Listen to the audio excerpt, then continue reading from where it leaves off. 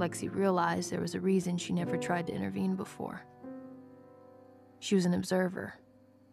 That's who she was.